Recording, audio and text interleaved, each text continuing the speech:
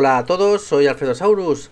¿Qué tal? Hoy os traigo un nuevo tutorial para la web simple4d.net en el que vamos a ver cómo realizar el efecto que puse hace unos días en el canal como, como eh, footage MoGraph eh, que se llamaba Meteoro. Yo tengo aquí varias versiones hechas y os voy a enseñar pues cómo realizar este efecto que la verdad es que queda bastante bien y para nuestras composiciones pues nos puede ser muy útil para fondo o para efectos especiales. Se trata de, una especie como de lluvia de, meteoritos, ¿no?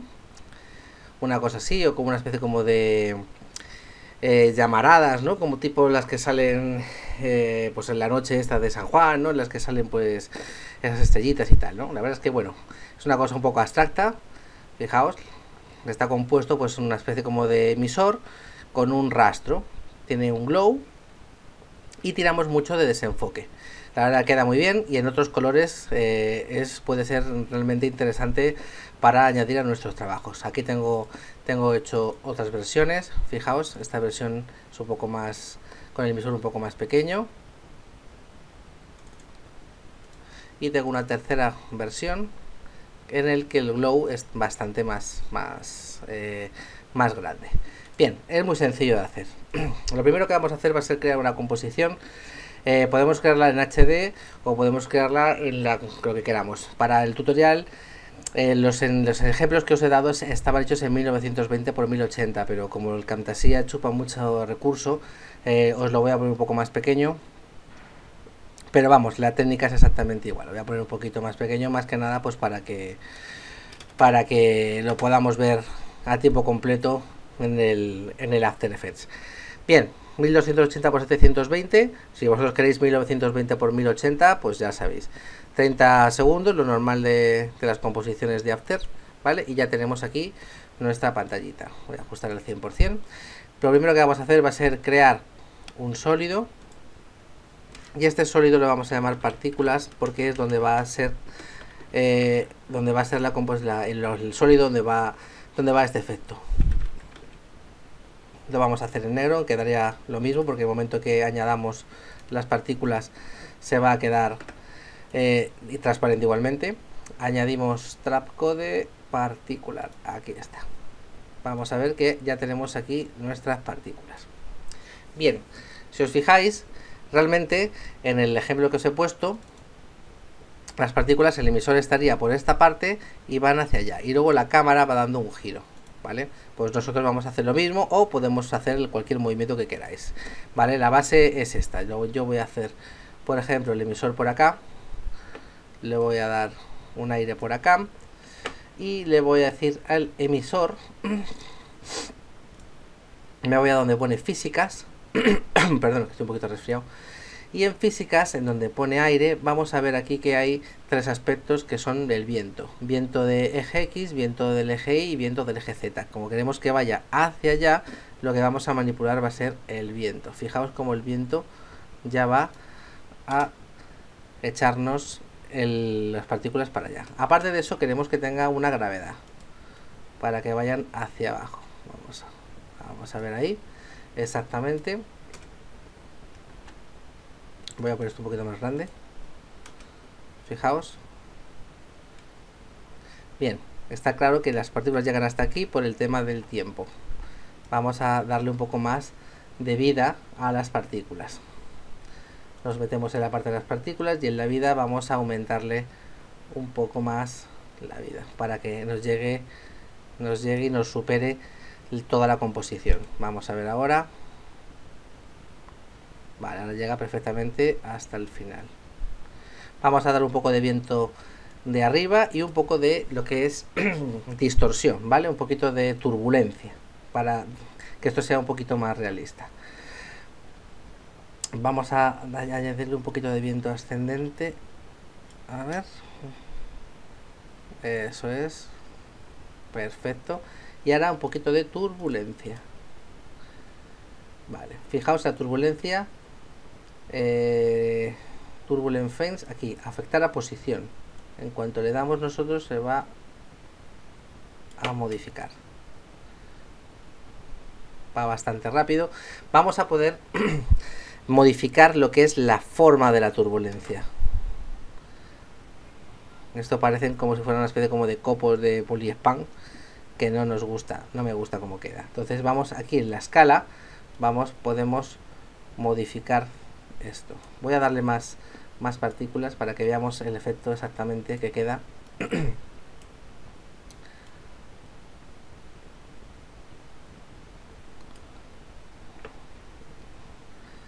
afecta la posición aquí afecta la posición por lo menos un 30 y en la escala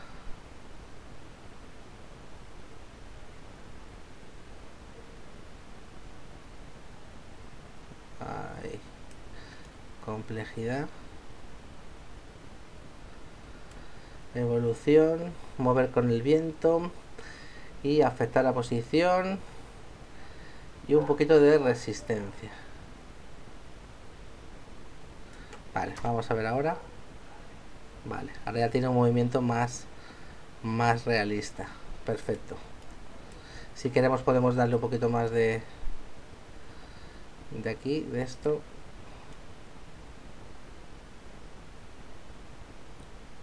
Vamos a ver cómo queda ahora. Eso sí, eso ya se parece más a lo que yo buscaba. Perfecto, vamos a quitar tantas partículas. Esto son una burrada de partículas.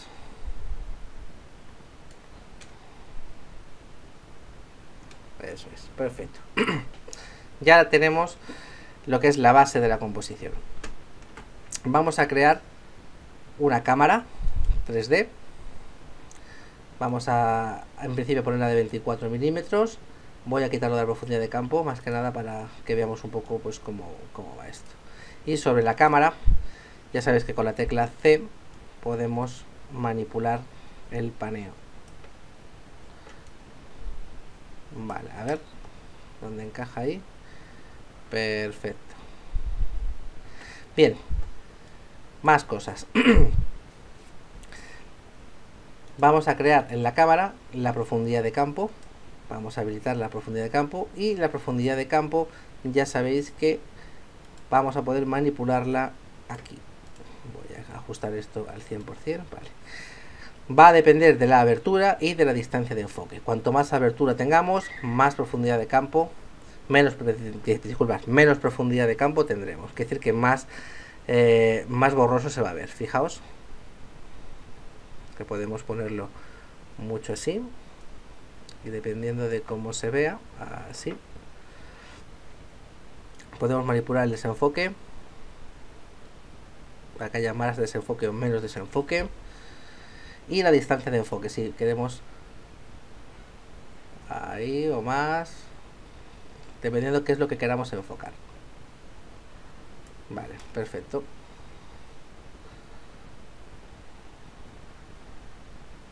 Eso es. Bien, vamos a darle también a la parte de partículas en la preemisión para que empiece a emitir antes, desde el principio.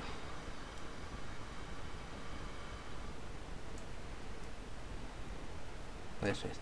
Vamos a dar unas cuantas más. Fijaos.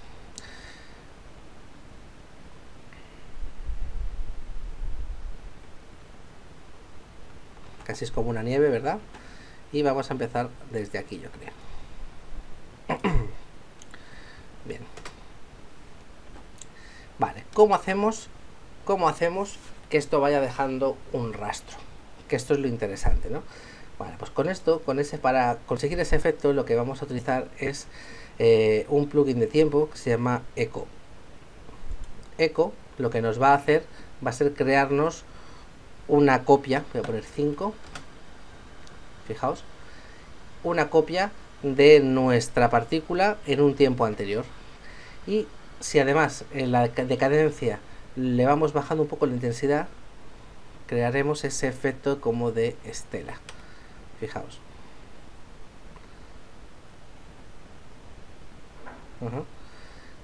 Casi es como una especie como de explosión, ¿verdad? Bien, ya tenemos más o menos lo que es la base de la, la base de la del, de lo que es la, el efecto, ¿no? Vamos a darle un poco de color y, y el tema de el tema de mm, de los brillitos estos que tiene. Aparte de esto, vamos a crear una capa de ajuste la vamos a poner sobre encima de todo ¿vale?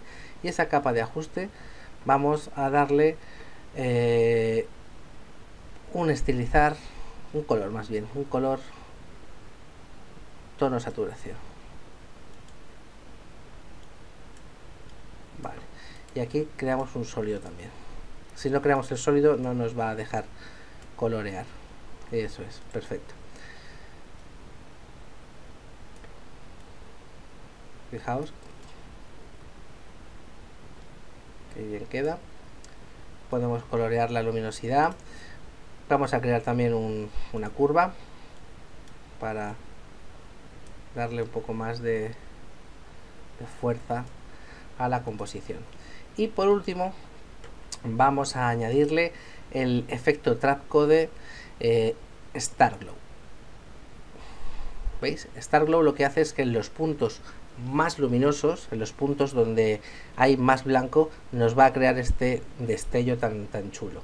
Yo para el, para el efecto este utilicé, eh, creo que era blanco me parece, eh, sí, era, era blanco y con blanco con puntitas. Vamos a, vamos a usarlo. Era este de aquí, white me parece, warm star, ese es. Y le puse un poquito más de, de intensidad podemos utilizar el que queráis. Fijaos qué interesante sería con este. Parecen como como cosas así o este. Vale, este también mola este también me gusta. Podemos aumentarle. Vale, perfecto. Es importante que esto sea blanco. Añadir ahí transferencia mode, añadir, ¿vale? Fijaos la diferencia, no se va a ver tan puro. Si le damos añadir, nos va a resaltar mucho más. Vamos a darle esto a completa, a la resolución completa. Vamos a dar unos cuantos fotogramas para que veamos cómo queda.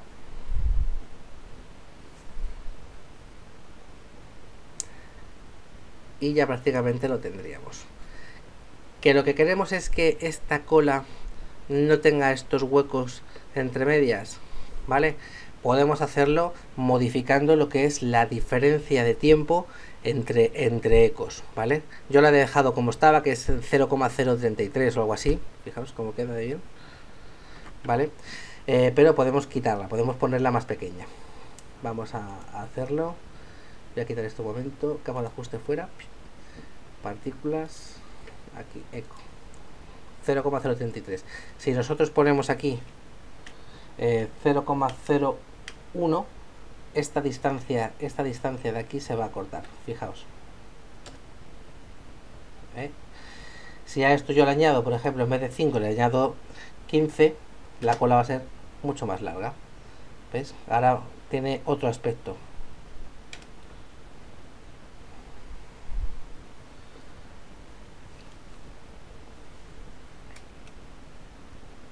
Son como lágrimas. Que lo que queremos es hacerlo más largo. Pues 0,5. Y tendrá otro aspecto. Fijaos.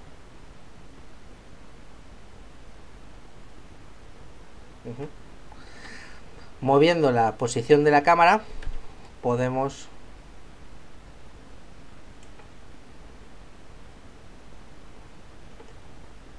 conseguir esa tridimensionalidad. Lo que tarda la cosa esta. Fijaos. Vale volvemos a ajustar la capa de ajuste. Va la redundancia. Y fijaos que es como una explosión aquí en la que van cayendo todas las todas las perlitas estas de, de fuego. Vamos a dar un par de fotogramas para que veamos el efecto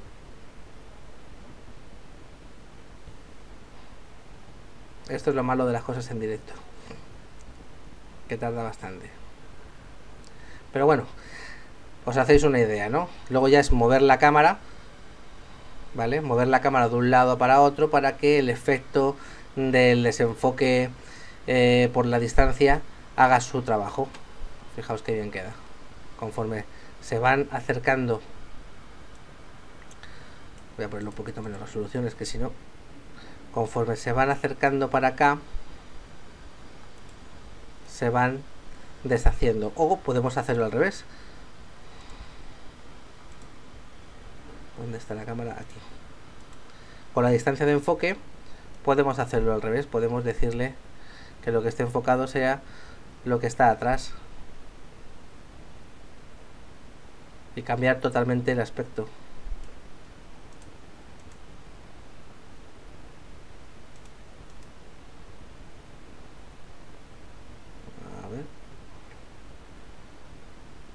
Lo que tarda leche. Bueno.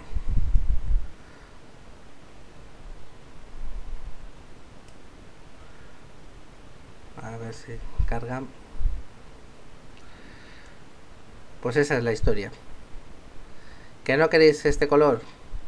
Pues ya sería tan sencillo como ir a la capa de ajuste y modificar la composición con los colores con los colores que queramos nosotros.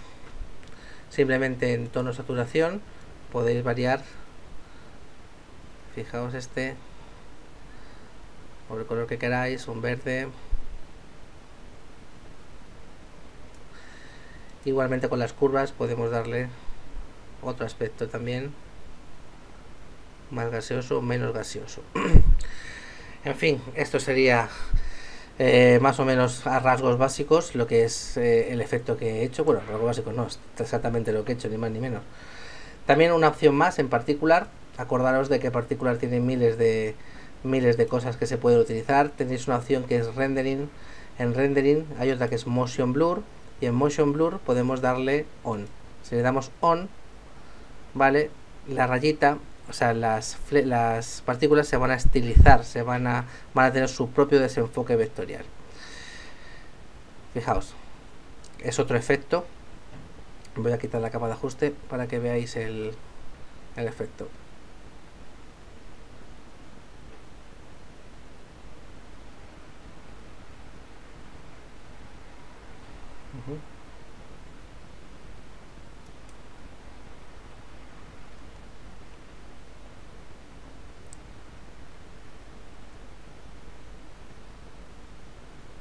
Necesito comprarme otro procesador. Bueno. El efecto sería... Voy a quitar el... Voy a quitar un momento el desenfoque de, la cámara. Voy a quitar profundidad de campo. Vale. El efecto sería este.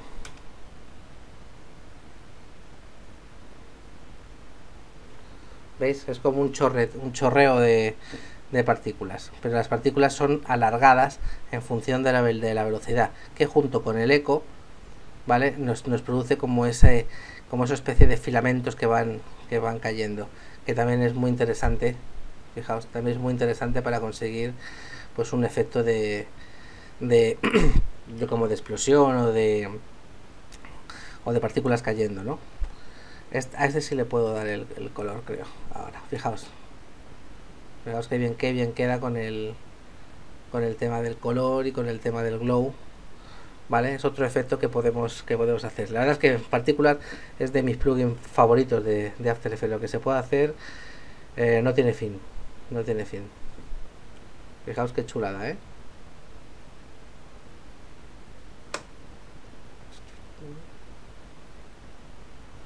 Bueno. En fin, hasta aquí hemos llegado con este tutorial. Espero que os haya gustado mucho y que os sirva sobre todo para vuestras composiciones. Cualquier duda, cualquier sugerencia, podéis hacerla a través de nuestra web simple4d.net. Es una web gratuita donde tenemos un foro y en el que siempre, siempre, siempre respondemos a todas las preguntas que nos hagáis. Eh, si os ha gustado el tutorial, ya sabéis, mano arriba, suscribiros y todas las semanas, todos los meses y todos los años estaremos aquí con vosotros eh, sacando los tutoriales más sencillos. Hasta luego.